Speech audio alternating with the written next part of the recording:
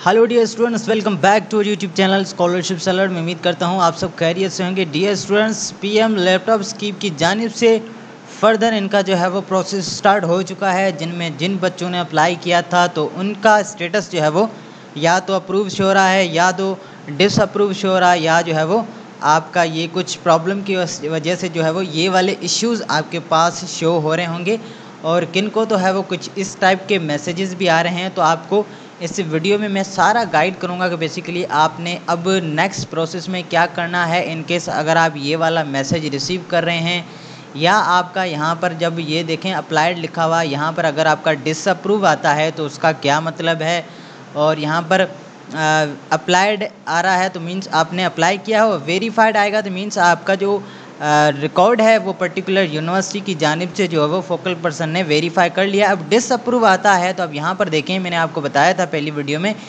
कि student has been disapproved solely by the university focal person due to few reasons which में include incorrect academic details or date of admission misconduct or administration issues E T C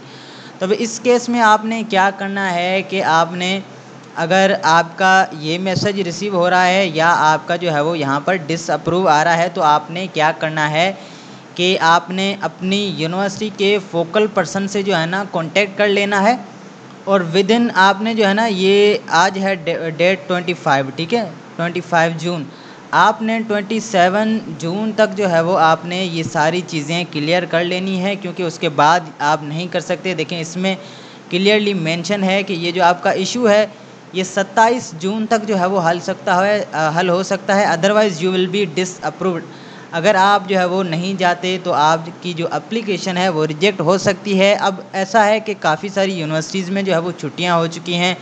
तो अब students बहुत ही दूर दूर से हैं तो उनके लिए एक मैं आपको सजेशन दूँ कि पहले तो आप अपना यहाँ पर स्टेटस देखें, यहाँ पर फ़ेज़ में चूज़ करके अपनी यूनिवर्सिटी के सिटी का नाम यूनिवर्सिटी का नाम कैंपस चूज़ करके अपना डिपार्टमेंट और यहाँ से जब आप अपनी एजुकेशन सेलेक्ट करके यहाँ से ईयर सेलेक्ट करते हैं तो आप फ़िल्टर पे क्लिक करेंगे तो आपका यहाँ पर स्टेटस शो होगा। अगर तो आपका फॉर्म जो है वो वेरीफाइड है तो तो फिर ठीक है, लेकिन अगर इसमें से कुछ भी यहाँ पर देखें, ये सारे साइन जो है वो शो होते हैं तो आपने अपने फोकल पर्सन से कांटेक्ट करना है। मैंने ये भी बताया था कि फोकल पर्सन को कैसे फाइंड आउट करना है तो आप यहाँ पर जो है वो अपने देखें, यहाँ पर सर्च फोकल पर्सन पे क्लिक करके आप यहाँ से जैसे मैं जामशोरो सिटी चूज़ करता हूँ, ठीक है, यहाँ से मैं जामशोरो जामशोरो सिटी चूज़ करता हूँ, यहाँ से मैं यूनिवर्सिटी ऑफ़ सिंध चूज़ करता हूँ तो मेरे पास जो है वो यहाँ से फेक फोकल पर्सन जो है ना वो आ जाएँगे। तो आपने क्या करना है कि इनके जो है वो ईमेल पर या आपने इनके फ़ोन नंबर पर रबता करना है, ठीक है? और इन केस अगर आप घर हैं, अभी यूनिवर्सिटी नहीं जा सकते तो आपने एक एप्लीकेशन लिखनी है, वो इस तरह की आपने एप्लीकेशन लिखनी है, ठीक है? अब यहाँ पर देखें सब्जेक्ट में लिखना है कि request for the correction in prime minister laptop scheme application form phase three अब यहाँ पर देखें, ये है ईमेल की बॉडी जिसमें आपने ये जो है वो लिखना है कि I hope this email finds you well I am writing to bring your attention a mistake I made in my online application form for the Prime Minister Laptop Scheme Phase 3. After submission of application, I have realized that there is a mistake that require correction. I am from rural areas which is far from university and due to this unable to reach the university. ये आपने लिख के यहाँ पर जो है ना आपने स्पेसिफाई करना है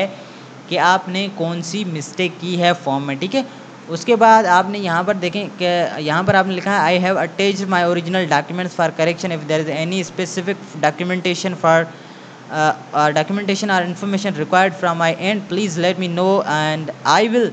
promptly provided thank you for your ये आपने लिख के यहाँ से अपना नाम अपना डिपार्टमेंट अपना सेशन और रजिस्ट्रेशन यानी कि आपका जो रोल नंबर है क्लास का वो आपने लिख के आपने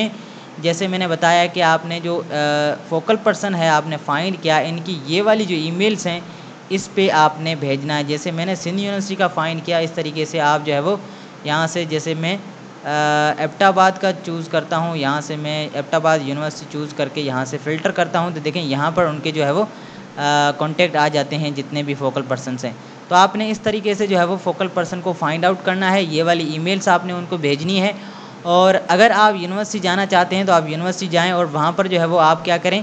कि अपनी मार्कशीट और सी सी लेके जाएँ। तो आपकी जितनी भी आ, मतलब कि रिक्वायरमेंट रिक्वायर होगी, यानी कि इन्फॉर्मेशन जो आपने मिस की होगी या आपने जो है वो गलत